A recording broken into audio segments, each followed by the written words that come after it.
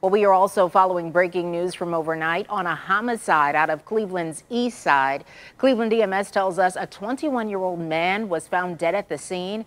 It happened on Morgan Avenue near East 70th Street. A video from our overnight news tracker shows a massive crowd and a lot of police officers there on the scene. Of course, we are working to get more information for you this morning.